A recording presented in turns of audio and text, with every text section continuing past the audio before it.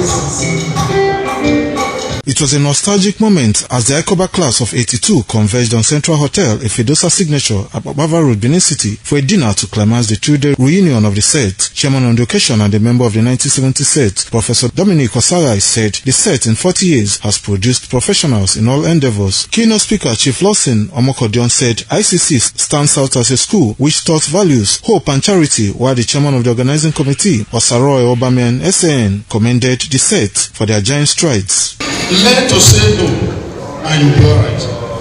Be cautious at work, bold and courageous, and be a person of integrity, standing for the truth. Nigeria is the only country we call our own. Let's not abandon it. 40 years in the life of the 1982 set. And looking at the program, I can see professionals from all walks of life. This class is truly blessed.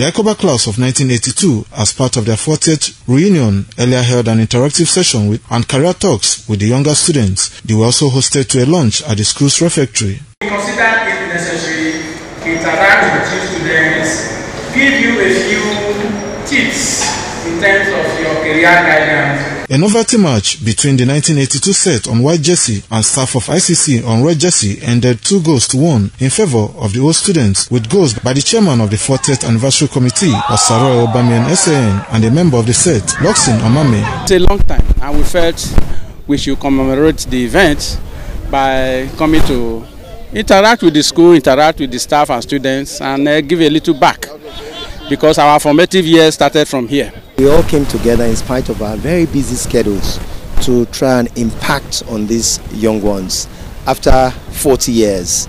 Uh, for some of us, we're seeing ourselves for the first time after 40 years. So this is wonderful. This is what life is about relationship, virtues. We were taught here to actually carry a certain level of integrity. I find it difficult having people come back to their humble beginning to say thank you. So it gives a great feeling. Music and comedy performances spiced activities for the 40th anniversary celebration. Kingsley Uchegbu, ITV News.